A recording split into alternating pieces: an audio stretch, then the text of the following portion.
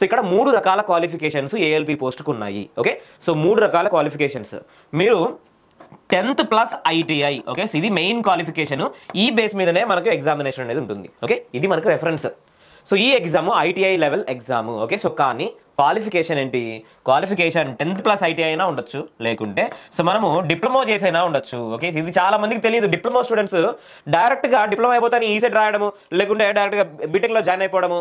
So దాని తర్వాత ఏదైనా జాబ్ కోసం వెయిట్ చేయడము దీని గురించి ఉంటుంది. ఓకే సో డిప్లొమా అయిపోతూనే మనం అప్లై చేసుకోవచ్చు. ఫర్ ఎగ్జాంపుల్ ఇప్పుడు diploma second year BTech second year join అయింటారు so వాళ్ళకి ఈ నోటిఫికేషన్స్ గురించి తెలియదు అనమాట ఓకే సో మీ ఫ్రెండ్స్ కానీ లేకుంటే మీ రిలేటివ్స్ కానీ ఎవరైనా ఉన్నా కానీ డెఫినెట్గా వాళ్ళకి ఫార్వర్డ్ చేయండి.